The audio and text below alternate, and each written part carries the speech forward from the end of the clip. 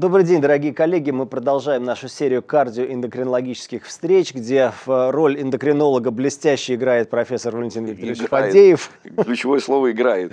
Ваш покорный слуга, доктор Антон Владимирович Родионов, исполнит партию кардиолога. Ну, у нас очень много органов, которые так или иначе имеют отношение к врачам эндокринологической и кардиологической специальности. Сегодня мы поговорим об эндокринных артериальных гипертензиях. Причем э, эти пациенты, они все-таки чаще всего приходят, как мне кажется, к кардиологу, поскольку существительные здесь гипертензии, да, а эндокринные это прилагательные. Или, Валентин Викторович, бывает, что они приходят напрямую к вам?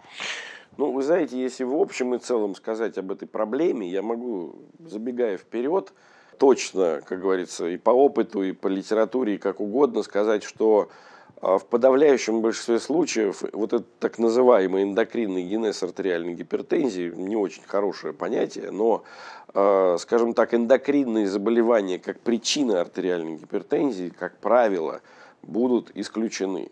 Даже в тех ситуациях, когда исходно пациенты при, при, приносят какие-то перекошенные гормоны, они приносят какие-то компьютерные томограммы с, с чем-то в надпочечниках, то все равно вот в этой общей массе, как правило, артериальная гипертензия оказывается, вердикт оказывается, что здесь э, гиперпродукция гормона ни при чем. Да? То есть нет того заболевания грубого, грубой патологии, с вы, опухолевой, как правило, с выраженной гиперфункцией, то есть с выраженной гиперпродукцией какого-то гормона, там, альдостерона, кортизола, э, катехоламинов. То есть чаще всего все сведется к тому, что пациент вернется э, к вам, Антон Владимирович, вернется с записью, да, моего здесь нет. Да, да, то есть чаще да. всего к вам... С Пасхой вас, то, то есть чаще всего там кто-то наловит, сразу бросит динамит, да, в лабораторию, посмотрит все гормоны там от А до Э, да, от АКТГ ну, до, до эстрадиола, а дальше скажет, слушайте, идите к эндокринологу, вот пусть он посмотрит, что я там наловил, да, что у меня,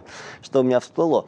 Вот, ну, мне, конечно, очень хочется, это то, чем я занимаюсь много лет, чтобы э, все-таки кардиологи, терапевты, интернисты, скажем так, врачи не эндокринологи хотя бы в плане первичной диагностики были самодостаточные. Действительно, многие заболевания э, которые приводят к развитию эндокринных артериальных гипертензий, ой, я сказать, выкрутился, вот, они довольно редкие, а все редкие болезни должны аккумулироваться в одних руках. Ну, согласитесь, все-таки пациентов с синдромом Кушинга, с феохромоцитомой должны ну, лечить да, специализированные и тесты центры. должны быть направлены да. на исключение, действительно, да. на исключение. Но патологии. направление должно быть обосновано. Ну вот давайте посмотрим, э, что предлагает нам Европейское общество кардиологов в качестве показаний вообще к скринированию вторичных артериальных гипертензий. Кстати, это не редкая ситуация то есть я очень люблю на эту тему говорить.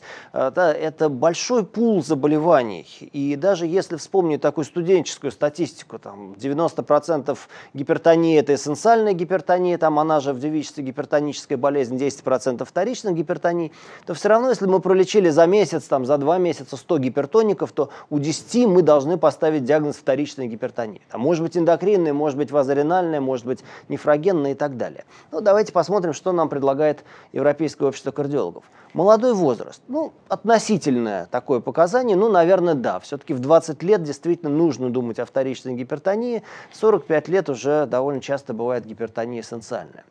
Острый дебют гипертонии с частыми кризами, быстрая стабилизация давления. Ну, наверное, когда авторы писали про частые кризы, наверное, они все-таки держали в голове феохромоцитому. Во всех остальных случаях непонятно, что имеется в виду под острым дебютом.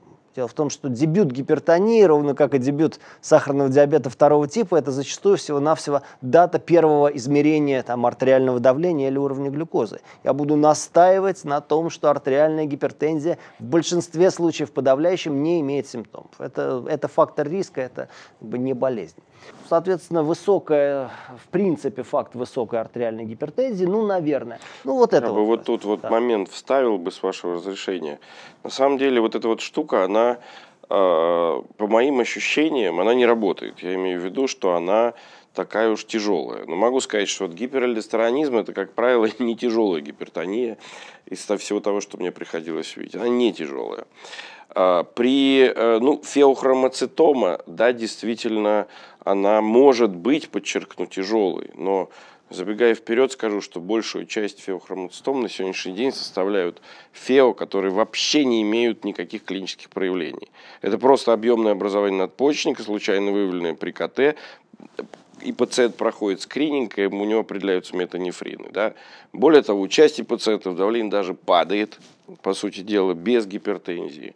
То, что касается Кушинга, но у меня опять же нет ощущения, что это какая-то безумная артериальная гипертензия. То есть я бы вот этот момент сказал бы, что э, вот клянусь вам, что большая часть случаев тяжелой, как вот говорят, когда цифры совершенно какие-то такие вот заоблачные, гипертензии, я лично в этой ситуации чаще исключал гипертензию. То есть это ваши, опять же, то есть самые тяжелые гипертоники, они опять же, э, это ваши, а не наши. Вот я как бы в общей массе сказал, в, в абсолютных значениях. Поэтому если у человека умеренная гипертензия, это совершенно не означает, что у него нет Э, того, о чем мы говорим. Вот этот вот момент важно подчеркнуть. Я, кстати, совершенно с этим соглашусь. Причем, ну, здесь речь идет об исключении вообще вторичной Нет, ну, гипертонии. Это, здесь не только по Это стандартный, да. это, с этим нельзя не согласиться, потому что если есть это, то, безусловно, надо исключать. Но я как бы сразу скажу, что вот это вот, а, ну, скажем так, есть определенные маски, которые порой нам мешают, я о них еще скажу. Но вот одна из них, это что это какая-то тяжелая гипертензия. Вот она на самом деле, по моим ощущениям, она не такая-то и тяжелая, в общем. Может быть тяжелой, но э, вот, вот как бы этот момент. Вот это важная вещь. Я, кстати, совершенно соглашусь. И вот то же самое, на мой взгляд, касается и вазренальной гипертонии. Причем я даже иногда говорю, что я чувствую просто свою персональную ответственность за это, поскольку мы много лет говорили, что вот вазренальная, она вот самая тяжелая, она злокачественная. Но на самом деле в основе вазренальной гипертонии лежит бляшка почечной артерии. Бляшка растет постепенно, стенозируется артерия постепенно. Причем если пациент там принимает худбедно какую-то терапию, там статины, то вот это постепенно оно будет еще меньше. То есть это далеко, действительно далеко не всегда такая вот тяжелая тяжелая и далеко не всегда, кстати, резистентная гипертония, но факт резистентной гипертонии, то есть неэффективный стандарт трехкомпонентной терапии, это, в общем, э, достаточно такое веское показание к тому, чтобы хотя бы, хотя бы в этой ситуации задуматься не зеваем ли мы вторичную гипертонию. Быстрое развитие органов мишени, ну, соглашусь, скажем, тот же гиперальдостеронизм, там есть еще проблема в виде, собственно, избытка альдостерона, который сам по себе не очень хорош. То есть вне даже вот э, эффекта повышения давления, потому что это фиброз, это э, нарушение ритма сердца и так далее. Отсутствие гипертонии в семейном анамнезе. Ну, ну, наверное. То есть, если, конечно, если там молодой человек пришел в 25 лет э, значит, с гипертонией, у него нет никого гипертоников, ну, наверное. Но опять же это... Ну, мутноватый такой. Пункт. Мутноватый, да. Ну и последнее, вот, собственно, то, чего может не быть, вот когда прямо у пациента на лице написано, что «Здравствуйте, меня зовут синдром Кушинга», но тоже я так подозреваю, что и в ситуации с Кушингом это не всегда так просто различить. Поэтому, как мы видим, вот эти вот показания, они, в общем, довольно призрачные, они довольно нечеткие. И прежде всего, наверное, если мы вообще не задумываемся о том, что эти болезни существуют, то, собственно, сложнее их. Ну, вот я опять же хочу сказать, что вот все равно, вот я э, просто, чтобы понимали, что это диагноз исключения. То есть здесь, вот если взять вот это все, что перечислено на этом слайде, то это все равно, как правило, будет эссенциальная гипертензия. Вот если взять, собрать в одном месте всех людей, соответствующих этим признакам, то опять же, просто надо понимать, что да, это вот как бы поводы обследования, но надо опять же понимать, что все равно в результате этого обследования, если собрать дружно, то все равно окажется, что это вот все это будет окажется в итоге эссенциальной. Ну, на сегодняшний день, так скажем, эссенциальной, потому что, может быть, когда-нибудь она превратится не в эссенциальную. Ну, давайте дальше поговорим, собственно, о основных трех вариантах артериальной гипертензии, то есть синдром первичного гиперальдостеронизма, опухоль хромофинной ткани, синдром Кушинга. Э, летом нынешнего года, 23 года, европейцы Европейское общество гипертонии выпустило новые рекомендации по артериальной гипертензии, и там они, ну, как мне кажется, сделали очень такие удачные картиночки, такие напоминалочки по основным формам вторичных артериальных гипертензий, поэтому я предлагаю, вот, коль скоро это новый документ, новые картинки, вот я предлагаю их взять за основу. Ну, вот первое, наверное, что требует комментариев, это, конечно, распространенность первичного гиперальдостеронизма. 6-20% говорит нам Европейское общество артериальной гипертензии.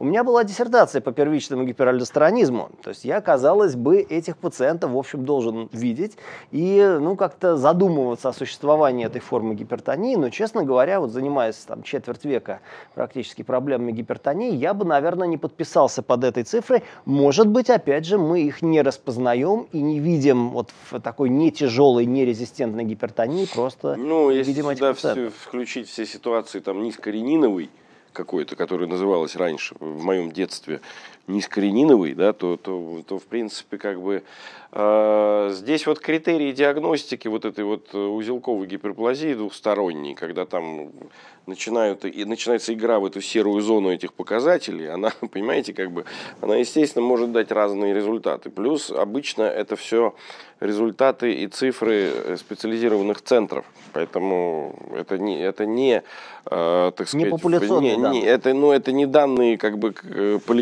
поликлиники, да, общей практики абсолютно. Ну, с другой стороны, если в поликлинике, скажем, частота анализа на альдостерон и ренин будет составлять за год ноль, то, по-видимому, распространенность будет такой же. Вот. Ну, наверное, самое главное, что нужно сказать про первичный гиперальдостеронизм, чаще всего это пациенты, не имеющие иных симптомов, помимо, собственно, артериальной гипертензии. Да, то есть то, что видел да. Джером Кон в 1956 году, это были самые тяжелые пациенты. Причем, по-моему, если я правильно помню историю эндокринологии, почкой уже в те там... времена даже не было еще аналитики, там же, по-моему, эти ну, гениальные ну, эндокринологи, сути, они еще не могли, собственно, гормоны Нет, ну, по сути дела, все упиралось в том, что вообще определение стероидов достаточно сложно, они отличаются там минимально, какой-то группой, да, и в данном случае речь шла о крупной опухоли э, надпочечника, причем уже пациент, если я не ошибаюсь, даже с почечной недостаточностью, то есть э, но тем не менее это было, то есть альдостерон-то, в общем, известен человечеству еще относительно не так давно. Это было, это стало понятно в годах в 70-х, что он есть вообще как таковой. При том, что Кон написал, э, вот эта первая публикация, это 1956 ну, год. Ну, вот что-то, что-то там мутно, все это, вся эта история, она очень интересна. По поводу гипокалемии. Значит, надо понимать, что во времена Кона лечили гипертонию, если ее вообще лечили, высокими дозами диуретиков.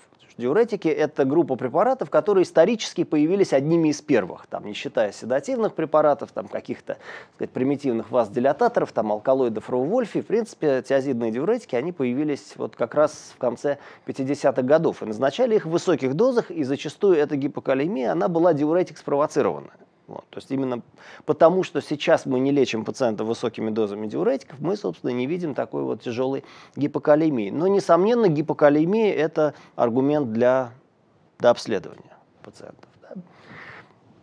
Следующий вопрос, конечно, какие использовать гормональные тесты.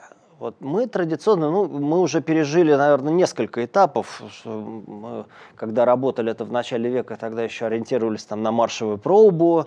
Да, вот, но, да, маршировали. Там гуляли пациенты бедные, три часа. Это вообще, а. кстати, не так просто. Вот. Но сейчас вроде бы от маршевой пробы как-то уже отказываются. Сейчас, если посмотреть на э, текущие рекомендации, то у нас есть альдостерон-рениновые отношения. То есть предлагается посмотреть альдостерон, предлагается посмотреть ренин. Ну, уже вроде активность ренина э, давно не делают. Сейчас прямая концентрация ренина стандарт. Дальше открыть справочник и посмотреть э, там для соответствующих размерностей, какое должно быть альдостерон-рениновое соотношение. Да, ну вот сейчас я вот, наверное, покажу вот этот слайд, а потом вернусь на, на предыдущий этап.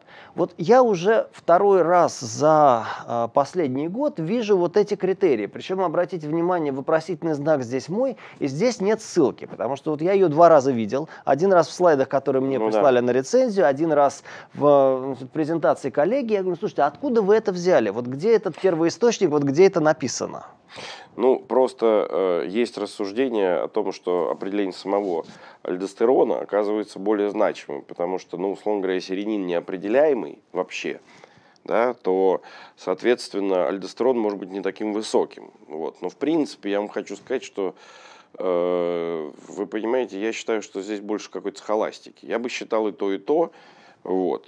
Если вы видите неопределяемый уровень ренина, вот как бы я хочу сказать, то у пациента есть артериальная гипертензия, альдостерон может быть повышен не так и сильно, могу ну, сказать ну, вот так. Отношение да. будет тогда, конечно, очень Ну, высокое. остается отношение, пока остается отношение, это было буквально э, несколько статей одного и того же автора, который вот говорит о том, что, собственно говоря, вполне достаточно при... обращать внимание на альдостерон. Вот. То есть все-таки вот это пока не, э, не есть какие-то общепринятые критерии, Понимаете, которые... я должны... хочу сказать, вы знаете, я хочу сказать нашим дорогим докторам, что в принципе, как бы э, основной ошибкой является вообще не определение уровня ренина. То есть уровень ренина просто не определяют. Определяют уровень альдостерона. Вот. Альдостерон, как вы понимаете, он может быть повышен по тысяче причинам, и, скажем так, э, в том числе вследствие того же приема там, мочегонных и так далее. Да, да? вплоть до цирроза печени. Вплоть до чего угодно. Поэтому э, то, что касается лаборатории, я еще одну вещь скажу, что, в принципе, поскольку ренин ну и, собственно, активность рениноплазмы, она не так уж плоха, потому что это, по сути, ангиотензин, на, а, ангиотензин да, определяется. Э, этот тест, скажем так, более даже точный. Почему? Потому что это белок. Его можно точнее определить в крови, потому что альдостерон это стероид, и он неизбежно дает э, вот этими иммунометрическими тестами, он дает косяки всякие как это будет всегда при определении на сегодняшний день любых стероидов в рутине, вот этими тестами, которые есть. Поэтому без ренина, в принципе, здесь говорить вообще не о чем. Вот. То есть, как говорится, вы хотя бы, э, так сказать, дорогие мои, вот это вот, вот схоластическая беседа о том, сам альдостерон при неопределяемом ренине, либо вот это вот альдостерон-рениновое соотношение, определяйте ренин, самое важное. Потому что обычно вот в этой кипе, кстати, который приходит, там просто его нет, этого ренина да, нету. Это, это, как говорится, вот, вот просто, я сказал, что сделаны куча тестов и неправильно, потому что сданы кортикостерон, вот эта вся вот эта лабуда, вот эти какие-то, вот я не знаю, там стероидные 17 профили. 17 да. КС, 11 ОКС. Ну, ну, стероидные профили, какой-то бог его знает что, но нет ренина. Вот понимаете, как бы вот я опять, же, я опять же соглашусь, и я бы даже вот сказал, что для меня, скажем, при ну, дифференциальной диагностике важнее будет ренин, потому что у пациента с тяжелой артериальной гипертензией я хотя бы понимаю, куда смотреть, в сторону первичного гиперальдостеронизма или в сторону каких-то вот нефрогенных, там, вазоренальных гипертонии, о чем будет говорить там высокий ренин. Диагностика высокорениновой да, гипертонии – это отдельная Слушайте, история. да, кстати, самое это еще важное тоже. А, вот самый высокий уровень альдостерона, который приходилось видеть в жизни, а это были порой цифры там пяти, ну не пятизначные, но четырехзначные точно были. Это был вот значительное, очень сильное повышение альдостерона, это почти всегда будет вторичный гиперальдостеронизм. То есть, то есть при, вот эту... ну, то есть да. при, при первичном он не такой безумно высокий, то есть он не будет в тысячах измеряться. А вот если человечек, допустим, он любит, девушка сгоняет у себя отеки, да, и при этом еще и зачем-то определяет, э, соответственно, да, несуществующие отеки. То есть вот если, ну, если назначать по полной все эти препараты мочегонные, то там альдостерон и ренин, они могут достигать катастрофических цифр, если это продолжается долго. Поэтому вот я могу сказать, самый высокий альдостерон и самая частая причина повышения альдостерона – это вторичный гиперальдостеронизм. То есть э, он несопоставимо чаще, наверное, я не знаю, во сколько раз в 100, наверное, встречается чаще, чем чем, э, чем первичный. Ну, все-таки вот эта классическая схема, она остается актуальной, она остается валидной. Вот ну, то, что там, в рекомендациях уже довольно таких э, основательных да, 2016 года было провозглашено. Да, то есть мы смотрим альдостерон, ренин и делим одно на другое, в принципе, пытаемся понять, ну, э, в какую по... сторону двигаться. Но это, это, не, это, это не даст грубые ошибки, вы понимаете, как бы точно. Да, там возможны некоторые вариации на тему, там, давайте поиграем в эти дроби. Ну, в целом, опять же, определите ренин. Вот что. Ну, вот мне кажется, здесь, поскольку все-таки правильная диагностика первичного гиперальдостеронизма, она достаточно замысловата. И вот здесь, наверное, на этапе вот высокий альдо, альдостерон скорее высокий, ренин скорее низкий, я подозреваю первичный гиперальдостеронизм, вот здесь надо пациента направить в правильные руки, потому что вот функциональные пробы, там селективная флебография, вот это то, что, конечно, ну, в общем звене, наверное, недоступно, и, ну, и мало кто и, это делает. И даже не в общем звене, на самом деле, чаще всего это, в общем, и делать-то и не надо. Потому что все определяется, на мой взгляд, ведь наш диагноз, кстати, этого гиперальдостеронизма, он ведь всегда должен иметь некий, э, ну, мне кажется, всегда в эндокринологии, кстати, чтобы не уйти в гормоны, как это бывает, уйти в гормоны, то есть в вечность как звездное небо. Надо понимать, что есть как бы э, в конце этого пути всегда нужно будет ответить на вопрос, как помочь пациенту. А помочь пациенту здесь совершенно справедливо, э, так сказать, критерием истины будет вот эта вот конечная точка. То есть, а конечная точка это что? Это при солитарной э, альдостероме, да, возможен эффект от э, адреналэктомии, понимаете, как бы, да? То есть это возможно. Но, э, понимаете, как бы, если я не вижу вообще в надпочечниках образований никаких, надо ли мне делать что-то вообще, когда все равно, опять же, все закончится консервативной терапией? Ну, вот эта вот картиночка мне очень нравится. Вот она как да. раз, да, она как раз демонстрирует, что уже далеко не все случаи первичного ну, гиперальдостеронизма, это классический коновский вот, вот, а, гиперальдостеронизм, то есть э, аденома, да, ну, большинство ситуаций это не опухолевая 80%, 80% низкого ренина с альдостероном, соответственно, относительно высоким, это будет не Э, соответственно, э, объемных образований не будет, либо это могут быть объемные образования, но другого совершенно происхождения. Это тоже отдельная тема, но а, как бы потенциально надо понимать, что глубина обследования, она, она определяется чем? Планируется или потенциально возможно хирургическое лечение или невозможно.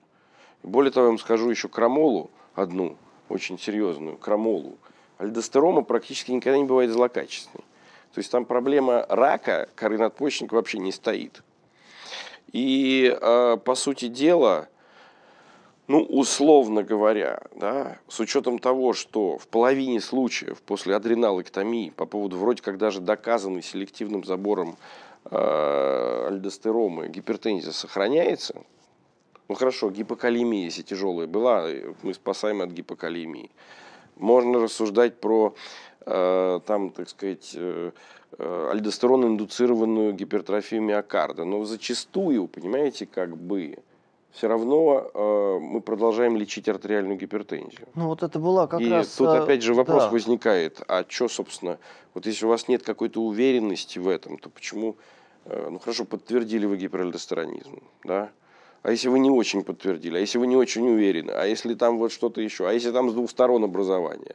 Ну вот вопрос, ну, нужно ли здесь уходить, как говорится, вот во все тяжкие, или, и особенно если у пациента уже есть грубо говоря, патология органов мишеней, то, что называется гипертензией. То есть не дать ли ему просто консервативную терапию, ну вот хорошо. Здесь, мне кажется, очень интересный вопрос. Я до сих пор не знаю, вот занимаясь этим уже 20 лет, я до сих пор не знаю ответ на этот вопрос. То есть мы уже, мы уже договорились, что гипертонии при первичном гипераллестеронизме даже, они бывают достаточно такие, ну, не тяжелые, то есть достаточно доброкачественные. Об этом и в принципе, и даже если предположить, что это там альдостерома, я ее могу лечить как-то консервативно. А вот следующий вопрос. Гипокалемия, заметьте, примерно в двух третьих случаев, она такая, в общем, там, ну хорошо, но мы добавим что-то, что это гипокалемия. Хорошо, ингибитор АПФ будет какой-нибудь, ну, все равно ведь да, будет. ну не дадим тиазидный диуретик, да, дадим ингибитор АПФ, там, ну может быть дадим какой-то ну, там, крошечную дадим. дозу спиронлактона или там эплеринона. Но вот вопрос, вот этот теоретический избыток альдостерона, вот сам по себе, опять же, вне артериальной гипертензии, он вот опасен, да? либо вот начихать на него. Если я могу лечить гипертонию, то лечу и победителей не судят. Ну, это в культуре клеток, если показано, что там в культуре клеток миокарда, что если ее залить альдостероном или погрузить в раствор альдостерона, там 40-процентный, прошу прощения, что они, они, она будет давать гиперплазию, это эти миокарды. Ну, понимаете, ну, в клинике это порой очень-очень-очень сложно это экстраполировать на конкретного человека. Особенно, если перед нами пациент со стажем гипертензии лет 10-15, то вообще, как говорится, тут вот, ну, ну, то есть, э, вот в этом гиперальдостеронизме я хочу сказать, что есть элемент большой мутности, когда речь не идет о конне классическом, который встречается относительно нечасто. Вот. И плюс к этому у меня такое вот, вот внутреннее ощущение, что это, в общем, э, в какой-то момент это станет категорией консервативного лечения, вообще этот гиперальдостеронизм в целом. Потому что ну, за исключением, конечно, явных, там вот просто она вот одна, солитарная просто, солитарная аденома, вот вчера, только вот вчера развившаяся гипертензия, там вот она прям вообще и там все, и ренина нет, и все вот, все вот так красиво, что да, вот и я помню, первая пациентка в диссертации такая была, 32 года, такая красавица, блондинка, ну, давление 200 на 120 среднесуточное, соперировали, потом еще 20 лет общались, вот я весь котам ну, я знаю. понимаю да, вас, она же блондинка ей было 32, 20 лет еще, да, 52. В принципе, да, согласен. Давайте подведем да. итоги гиперальдостеронизма и двинемся дальше. Итак, гипертония далеко не всегда тяжелая, далеко не всегда резистентная. Гипокалемия встречается, опять же, не во всех случаях. Э, тест скрининга – это альдостерон-ренин, обязательно альдостерон-рениновое соотношение, скорее высокий альдостерон, скорее низкий ренин. Дальше это повод к тому, чтобы направить этого пациента, ну, скажем, там, к тем людям, которые этим занимаются. Двигаемся дальше. Да, ну, естественно, вы, вы как говорится, мы не, не претендуем сегодня на какое-то систематическое академическое изложение. Мы просто с Антоном Владимировичем порассуждали об этой патологии. Да, ну, беседы. то есть, э, надеемся, что это будет поводом прочитать не какие-то схемки, а прочитать, так как говорится, хорошие обзоры современные на эту тему, потому что все вопросы там, по сути, и муссируются. Да? Да. Ну и, наконец, гиперальдостеронизм. Первично это далеко не всегда синдром Кона, и чаще всего это ситуация, которая требует консервативного лечения.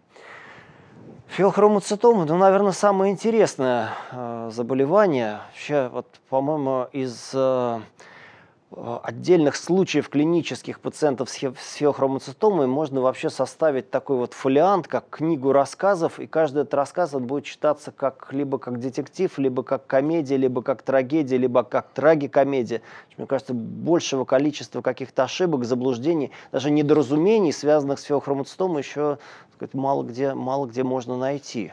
Вот, ну, ну, я соглашусь, да, хотя последние там лет, ну, почти уже скоро 20, это, как говорится, здесь немножко вот это вот напряжение, оно снижается с появлением вот этой с появлением Метанефрина, концепции метанефринов. метанефринов и альфа-адреноблокаторов длительного действия, это, в общем-то, как бы ситуация не столь драматична. Хотя, если взять вот эти монографии 20 века, там, допустим, там, так сказать, там, конечно, все, особенно хирургами написаны, сами же понимаете, как хирурги будут писать. Там санавиация, там в чуме, там вот это все романтично, там стенка мочевого пузыря, там провоцирующие, там, так сказать, при мочеиспускании кризы, просто хочется плакать. Один раз в жизни Все видел отдыхают. Э, параганглиому, то есть вот вне надпочечниковую феохромоцитому в стенке мочевого пузыря. Ну вот, вот это, все, это все такая. Вот. А, кстати, вот из таких совершенно безумных историй, года три назад мне -то уже этого пациента привели на предоперационную подготовку, а история такая, 49-летний мужчина, он какой-то совершенно спокойный, какой-то пульдозерист по специальности, по профессии. Вот, у него появляются кризы, ему говорят, ну, родной, у тебя панические атаки, тебе надо лечиться у психиатра. Он спокойно, ну, надо, надо, сказали, сказали. Ну, завел бульдозер, поехал в психиатрическую больницу. Его госпитализировали полтора месяца, лечили нейролептиками, там, антидепрессантами, все как полагается, кризы не проходят. Полтора месяца подумали, не феоле.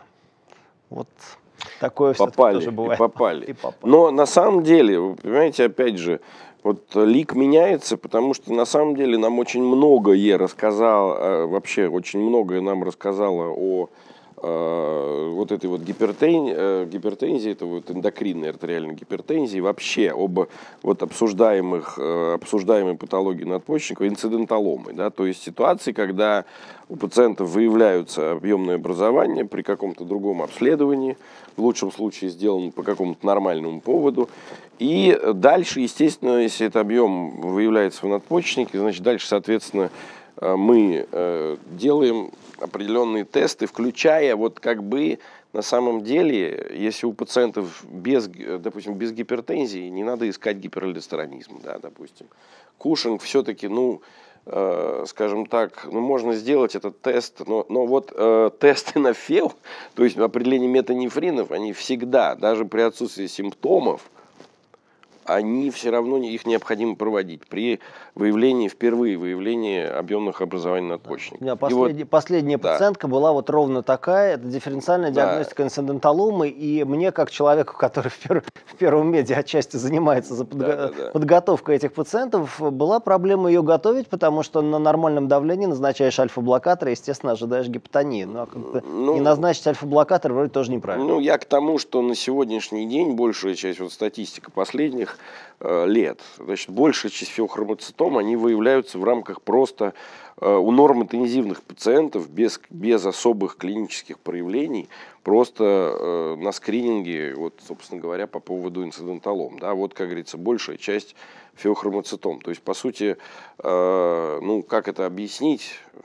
Сложно это объяснить, скорее всего, ну, какими-то компенсаторными процессами, как бы метаболизации катехоламинов э, и так далее. Да? То есть, как бы кризы возникают у меньшей части. А, и, да. и на самом деле, я опять же скажу, что Э, приходилось видеть и не такие уж тяжелые э, гипертензии, да, э, то есть, видите, вот эта классика да, к середины 20 века, на которой мы учились, она на сегодняшний день немножко мутирует. Ну, вот. просто естественно, что видели вершину айсберга. Так ну, же, как конечно, он видел ну, самых тяжелых пациентов, так же и наши учителя видели самых тяжелых пациентов. Ну, вот мне кажется, здесь, обсуждая эту тему, наверное, стоит говорить не столько о диагностике, потому что диагностика простая, сколько о вот всевозможных масках и ситуациях, когда об этом нужно задуматься. Потому что многие, мне кажется, считают, здесь вот важнее, что да. феохромоцитома – это вот обязательно болезнь кризовой гипертонии, это вот какой-то такой вот аналог панических атак, и всем пациентам с паническими атаками надо смотреть метанефрины. Ну, может быть, это А вы вообще плохо. слово «криза» отменили, по-моему, нет? Вы же отменили кризы гипертонические. Ну, Сейчас страшно на экзамене спросить, как вы будете купировать гипертонический криз. На тебя посмотрят, как на какую-то дедушку полоумного. Если, Откуда? Если так, как раз термин гипертонический криз остался, но он теперь характеризует только то, что раньше называли осложненный гипертонический криз. Кстати, криз Понятно, настоящий да, при феохромоцитоме. То я уже, да, я уже тут это, так сказать, это попытался спросить. Да, да по старинке. Ну, что еще? Бывает некризовые формы, то есть постоянные формы, когда давление в течение суток, в общем, достаточно стабильно, ну или там с какой-то естественной вариабельностью э, повышается, но в принципе это вариант не кризовый. Опять же, помню, девочка 18 лет была пациентка, у нас лежала на девятом этаже, у нее среднее давление, как она выносила этот мой аппарат, я не знаю, но среднее давление у нее было где-то 215 на 150, причем почти, вот почти устойчиво, там, конечно, все пугались. Ну вот здесь, э, я хочу сказать, что вот здесь э, э, вот этот, вот если возникает какая-то идея, да, вообще в принципе, если что-то как-то с гипертензией, что-то как-то криво-косо, то в принципе сделать этот тест, вот он, он, он, скажем так, его при, у пациента с гипертензией, на мой взгляд, в принципе, сделать не грех.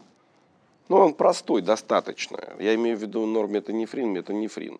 То есть с ним нет такого... Да, там есть серая зона, но, э, но так сказать, с ним э, и вообще с этой патологией нет такого, такой двусмысленности, как с гипералдостеронизмом. С гиперлестеронизмом, видите, мы даже тоже ушли с вами куда-то сразу в дебри. А здесь, в общем, выявление феохромоцитомы, оно достаточно однозначно. Да? То есть феохромоцитома, оно потребует э, хирургического лечения и э, ну, на сегодняшний день не, не экстренного после подготовки. Да? Это, как говорится, отличает современный мир.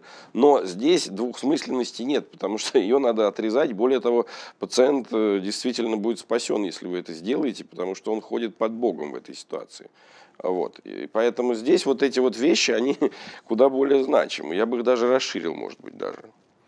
А, кстати, плазма или моча? Вот, э, ну, вот я сейчас покажу. Да. да, вот то, то было у нас вот эта новая картиночка, это такая моя любимая классическая схема. В принципе, все то же самое. Вот мы как-то традиционно привыкли к экскреции с мочой. Вроде это первый тест, который появился, который как-то мы так признали. Сейчас появились плазменные метанефрины. Ну, это ускоряет процесс. Но, понимаете, здесь самый важный, каким методом они определяются. Потому что это в идеале должен быть, должна быть тандем-спектрометрия, да, соответственно. То есть это должны быть не иммунные методы. Все-таки это катехоламины, это, причем они очень маленькие, а это метаболиты, да, то есть это малые молекулы, да, поэтому здесь э, возникает вопрос о... Э, раньше, давным-давно, как вы помните, была, были химические методы определения, э, да, там ВМК, да, я, я еще помню, я шутил все время, запомнил, ВМК так же, как внутриматочный контрацептив, то есть это только это ванилил миндальная кислота. Вот. Но а, как бы вот эти малые молекулы, они всегда... Почему, кстати, почему вот эта история адреналин, норадреналин, вот это вся, вот это все э, вызывало кучу проблем. Ванилил-миндальная кислота, гумованилиловая, потому что они очень мел, маленькие, да, и, соответственно, э, определение их при помощи вот этих антител, оно вызывает э, проблемы как и определение стероидов, кстати. Но вот здесь, я еще раз говорю, что здесь, конечно, иде... вариант не иммунные методы, то есть это, в принципе, ну, э, лучше, лучший вариант. А тут спорить можно бесконечно на эту тему. Я думаю, что для докторов это вот, это вот, вот такие мелкие вещи, они не столь важны сейчас. Короче, короче метанефрин и норметанефрин. Соберетесь сдавать, я надеюсь, что после нашего разговора сразу появится куча поводов это сделать, так сказать, вам, вас научат в лаборатории это делать. Хорошо. Опять же, то есть три, три нормы это прям вот почти наверняка, две нормы может быть, и дальше визуализация и, и ну, к нам. Ну, дальше, хотя бы даже если уже там три нормы, то уже, как говорится, отправляйте э, в какие-то специализированные центры. Но я хочу сказать, что вот этот тест, он Э, если он делается в лаборатории, да, и вы просто осознаете этот момент, только имейте в виду, что надо сначала с лабораторией пообщаться, что они готовы это сделать и так далее. То есть это не просто отправить в это самое, в пространство куда-то человека, потому что тут вопрос консерванта, соответственно, и так далее. То есть есть моменты. Но вот этот тест, поверьте, он, э, в отличие от предыдущего из обсуждавшихся, и от того, который будет еще обсуждаться, он, он достаточно, ну, скажем так, реально может человека спасти. Вот. Ну, 10% не надпочечниковой феохромоцитомы. Да? То есть если мы не нашли э, фео в надпочечнике, то, соответственно, есть смысл поискать ее где-то поблизости, там каким-то методом либо визуализации, либо сцинтиграфии. Недешевое удовольствие, но в Москве его можно сделать. Да? Сцинтиграфия СМИБГ позволяет визуализировать вне надпочечниковой э, зоны накопления радиофармпрепарата. Ну, к счастью, это встречается достаточно редко. Но основной вал будет идти, конечно, я хочу сказать, все равно основной вал на сегодняшний день определения метанефринов – это пациент с объемным образованием надпочечников, случайно выявленный. Вот это вот как бы... Поэтому, в принципе, вот э, иногда возникает, а нужно ли этот тест держать, такое редкое заболевание и так далее. Оно редкое, конечно, но вы понимаете, дело в том, что вот если вы его диагностировали, это, как говорится, вот попали, это вы попали просто вот, вот попали в яблочко, понимаете, потому что а, если вы диагностировали, вы спасете этого человека, да, то есть как бы это не мутный скрининговый тест, да, пусть это будет, э, так сказать, редко, но, но это будет реальное спасение. А сколько вы человека вот так спасли, вот так вот прямо, вот когда вы четко понимаете, что вы просто вот, вот да, вот, вот на, на глазах у изумленной публики спасаете человека от реального, реальной угрозы. Вот. Это как раз тот тест, поэтому...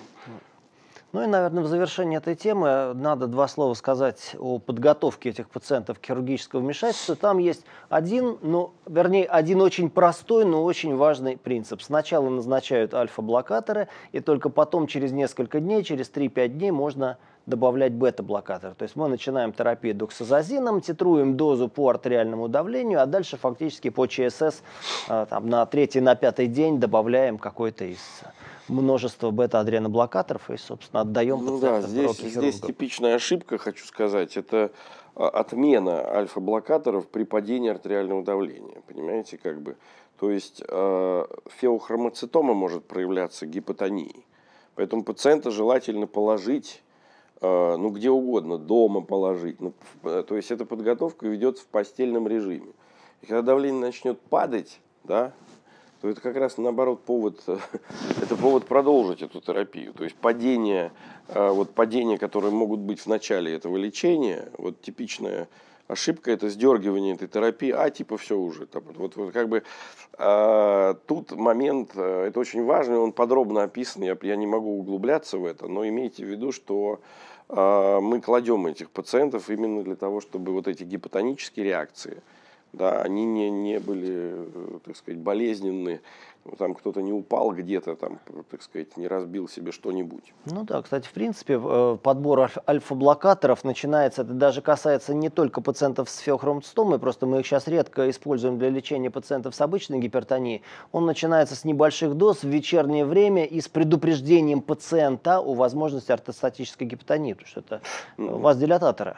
Ну, я хочу сказать, что вот эта терапия, она видоизменила отношение к феохромоцитоме, потому что, допустим, вот на сегодняшний день, если выявляется, допустим, синдром, э, синдром Сипла, да, медулярный рак с фео, то на сегодняшний день когда можно подготовить спокойно пациента к операции по феохромоцитомы, то, в принципе, зачастую первая операция оказывается даже э, тироидектомия по поводу медулярного рака. Ну, я могу сказать, у меня самая, у нас самая была веселая история с ФЕО, тоже вот нормотонический вариант. Э, с, э, беременной женщине, абсолютно беременной, на поздних сроках, при этом она суррогатная мать. Ей делается УЗИ, естественно, плода.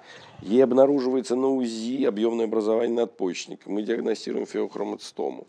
Ну, это все бы, вот если вот как бы, понимаете, это вот такие хорошие 70-е годы, это такое описание, там, у Козеева, я еще помню, там, как он там у беременных феохромоцитомы, там, они там делали, там, просто кесарево сечение и все. Сейчас она, эта дамочка, она, собственно говоря, на э, на Кордуре, она догуляла себе эту беременность, она родила на Кордуре, по сути дела, и после этого была удалена феохромоцистома. То есть э, вот эта ситуация, она радикально видоизменилась. То есть операция перестала быть экстренной, она наоборот стала э, требованием к этой операции, стала именно адекватная подготовка. А тогда эта операция, в общем, она спокойная вполне себе. Ну что ж, давайте, да. давайте двигаться дальше. И э, завершающая часть этой триады – это синдром Кушинга. Ну вот опять же, я не знаю насчет 2-5%. Вот э, европейцы вынесли эту цифру. Я, конечно, совершенно не готов под ней подписаться. Более того, я понимаю, что даже в клинике эндокринологии там ординаторы, которые заканчивают ординатуру по эндокринологии, говорят, что мы за два года не увидели ни одного Кушинга. Нет, ну, во-первых, точно увидели, если они где-то сидели, прятались от этого Кушинга. Здесь очень тонкий вопрос, касающийся э, так называемой автономной продукции кортизола и субклинического кушинга. Вот он э, очень обсуждаем сейчас. Вот. Но я думаю, что мы не можем сейчас уходить в, это, в эту тему глубоко. То есть э, вопрос, как интерпретировать тесты, очень неоднозначный. Порой ну, я бы начал, я бы все-таки начал с э, тех, кому эти тесты нужно да, делать. Вот что, что должно быть написано на лице у человека, чтобы мне захотелось скринировать его на предмет Кушинга? Ну, смотрите, самая типичная ошибка это, это, это вспомнить о Кушинга, только если там стрии.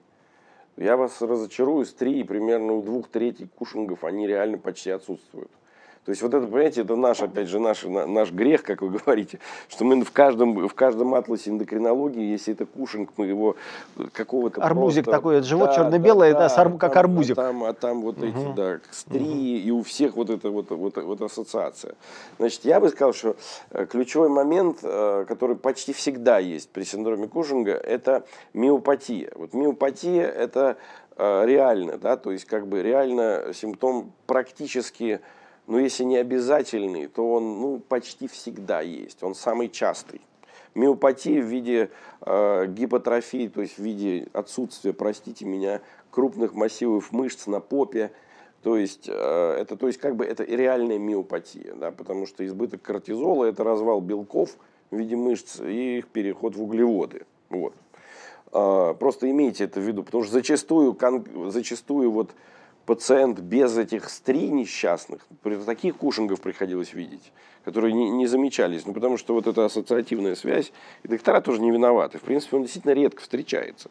Это мы-то видим, в общем, их. А, а так вот действительно видишь, видишь просто какой-то развальный кушинг, но без стрии. Этот диагноз не ставится до победного.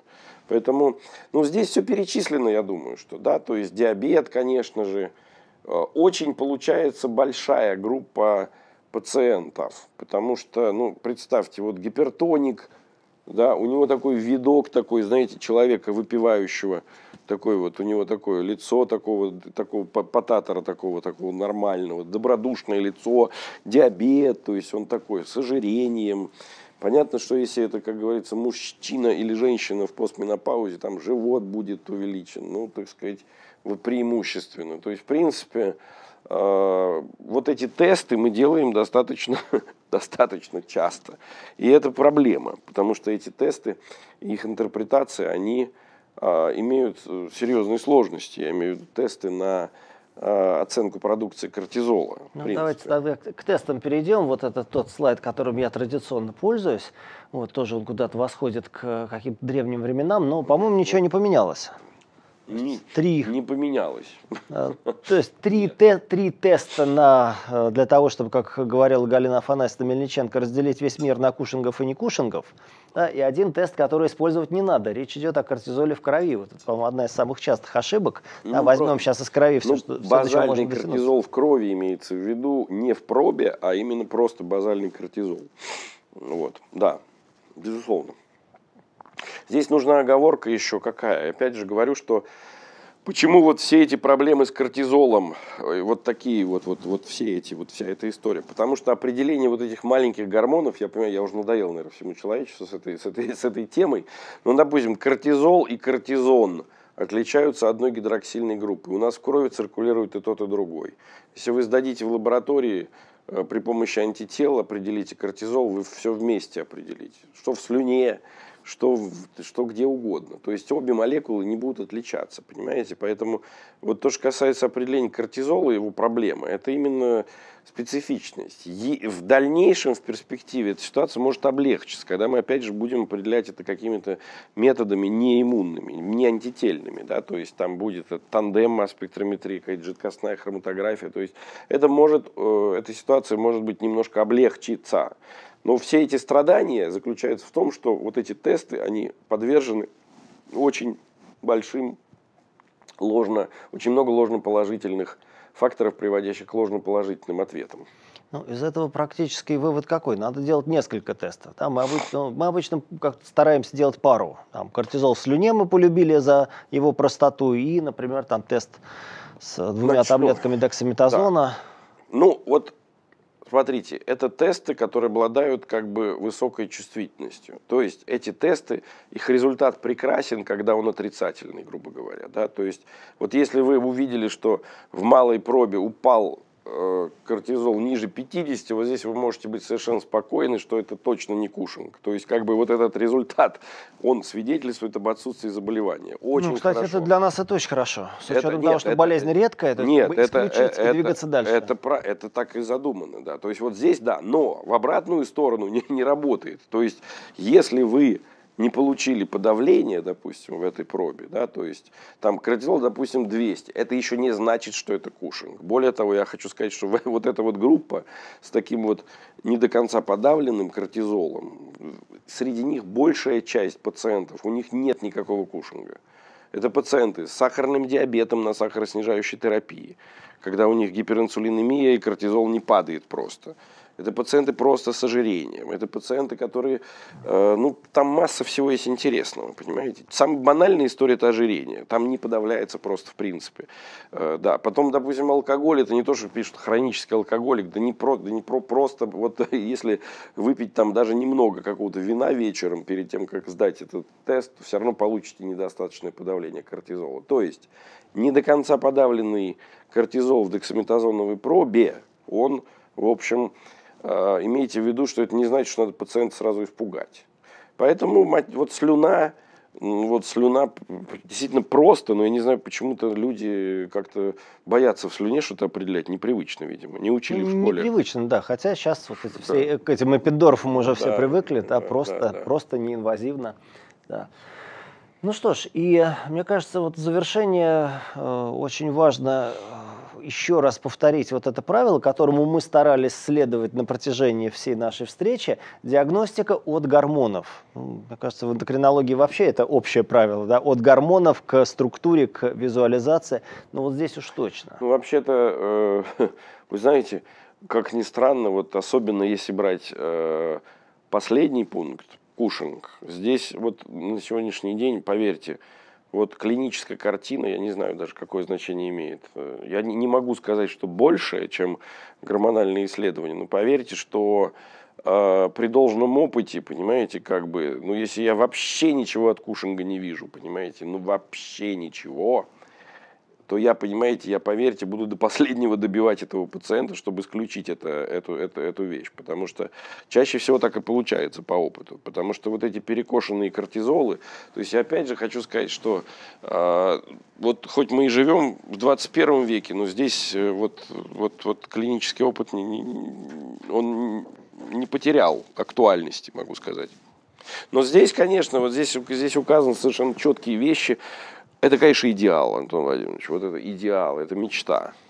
Я старался, я создавал этот слайд много лет, чтобы, чтобы наконец вы его похвалили. Да, я, это идеал, к которому надо стремиться, понимаете, вот. Э, но э, просто вот вы посмотрите на него и каждый подумайте, вообще вы вот делаете так или нет? Или это мы вот обычно это говоришь, обычно говоришь, там не надо делать на всякий случай что-то, не надо делать на всякий случай это. Вы подумайте вот о себе.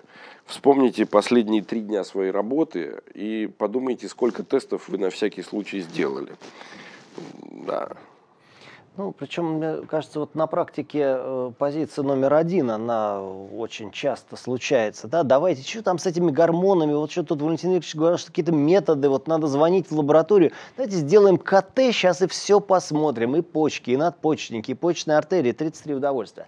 Вот, то есть вероятность того, что у пациента с гипертонией и объемным образованием надпочечника это будет инциденталома, то есть гормонально, вернее даже так, гормонально неактивное образование эссенциальной гипертонии, она весьма высока.